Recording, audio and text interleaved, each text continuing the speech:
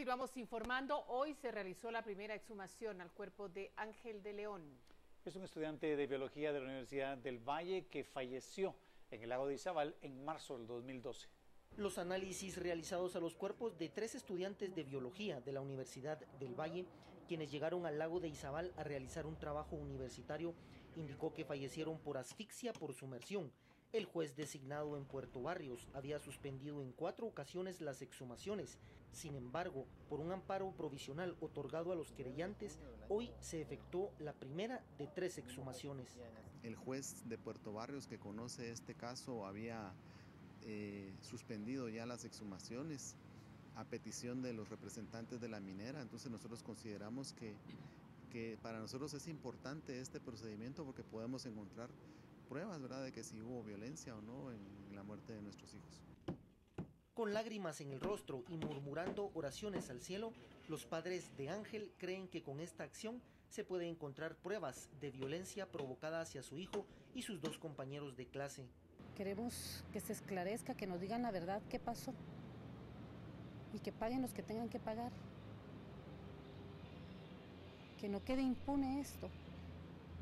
Nosotros solo exigimos justicia y vamos a seguir luchando porque se esclarezca esto y se haga justicia y que no sigan manipulando las evidencias como lo han venido haciendo desde esa noche tan terrible del 31 de marzo. Dos exhumaciones más a los cuerpos de Naomi Lara y Juan Carlos Velázquez se realizarán el 27 de enero y 4 de febrero, con el fin de esclarecer la muerte de los estudiantes de biología de la Universidad del Valle hecho ocurrido el 31 de marzo del 2012. Por una Guatemala en paz, Cristian Martínez y José Orellana. Y respecto a esta noticia, veamos en nuestro segmento de redes sociales qué es lo que opinan nuestros seguidores. Buenas noches. En esta ocasión hemos preguntado a nuestros seguidores qué opinión les merece el que se haya exhumado el cuerpo de un joven universitario para continuar con las investigaciones de su muerte. Luis Archila escribió, pónganse en el lugar de los padres. Si ustedes sufrieran una pérdida tan dolorosa, ¿acaso no les gustaría saber la verdad y buscar justicia? José M. publicó, ya era tiempo que se hiciera este tipo de investigación forense. Nunca se aclaró con certeza la causa de la muerte de estos jóvenes.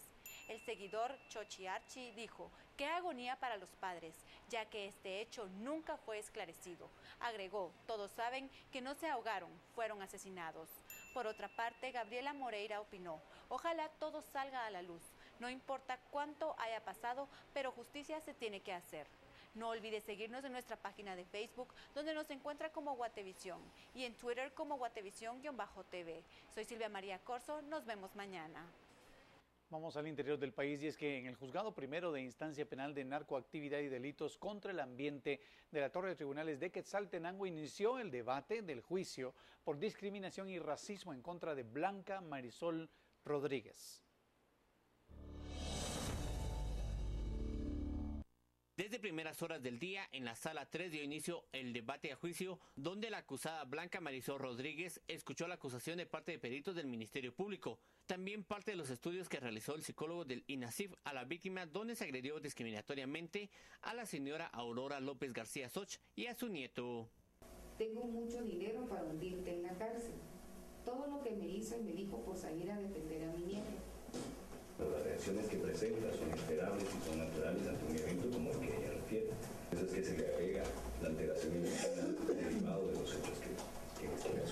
El hecho se registró el pasado 2012.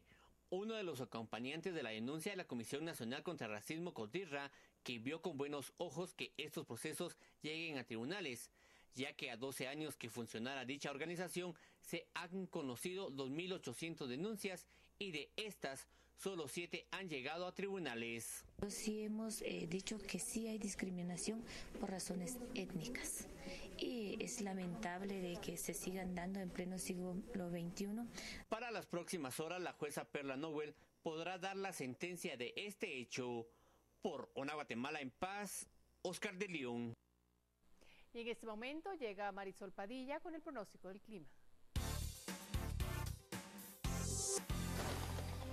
Noches a todos ustedes. Me da mucho gusto saludarlos e informarles que tenemos un nuevo frente frío desplazándose por todo el Golfo de México y esto permitirá la continuidad de lluvia o llovizna en sectores del norte hacia la meseta central. En la ciudad de Guatemala tendremos abundante nubosidad para mañana martes.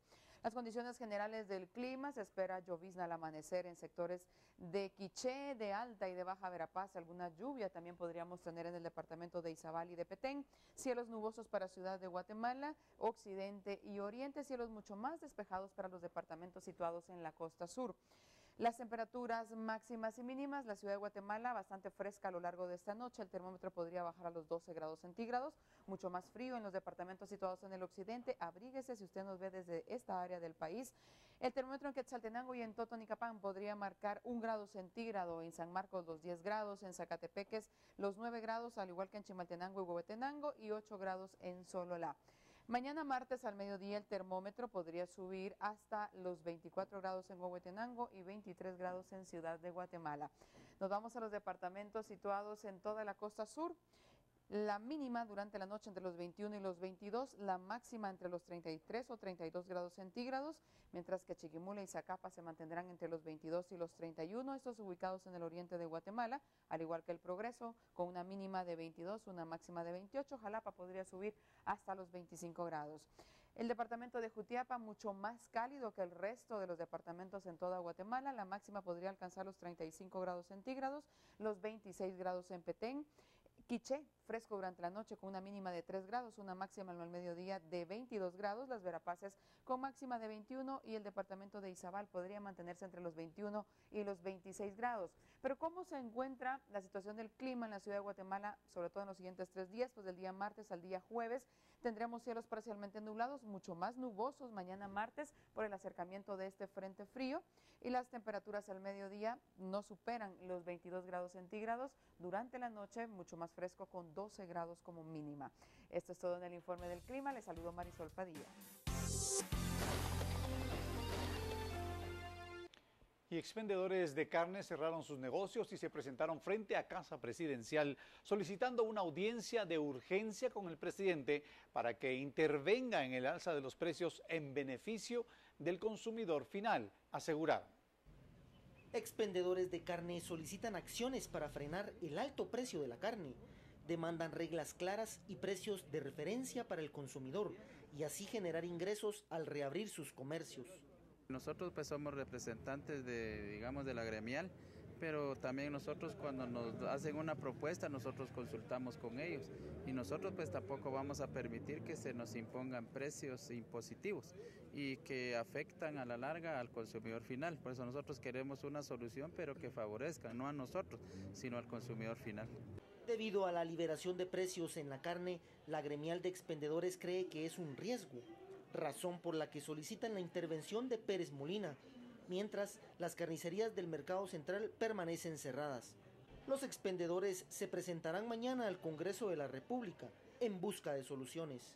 Por una Guatemala en paz, Cristian Martínez y José Orellana. Y carniceros de Petén están preocupados por el alto costo del ganado y denunciaron que las ventas han bajado drásticamente en el área central. A pesar que Petén es el departamento que cuenta con una de las mayores cantidades de ganado en el país, los carniceros indican que cada dos meses los ganaderos incrementan los precios, por lo que se están viendo afectados. Y la verdad es que sí estamos preocupados porque nosotros como vendedores de, este producto, como es la carne de res, eh, estamos sufriendo una situación bien, bien terrible por el hecho de que se está incrementando demasiado el precio. O sea, es una situación bastante cambiante y la realidad es de que no tenemos estabilidad. Los carniceros hacen un llamado a las autoridades para que tomen cartas en el asunto, ya que están siendo afectados, pues el ganado está siendo llevado hasta México. Si hacemos el llamado para que las entidades eh, correspondientes pues pongan eh, cartas al asunto, porque lo que está provocando, nosotros entendemos que lo que provoca el alza exagerada del, del precio de la carne de res es la entrada de los mexicanos aquí al departamento. Ellos están llevando mucho ganado fuera del país y entonces eso nos está viniendo a encarecer. Hasta el momento el incremento es de un quetzal por libra, pero de seguir subiendo el precio del ganado, los carniceros tendrán que aumentar el precio por libra. Por una Guatemala en paz para Noticiero Guatevisión, Marjorie Galindo.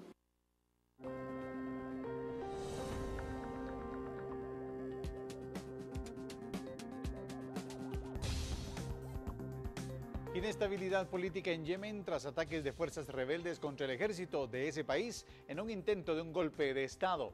Ya volvemos.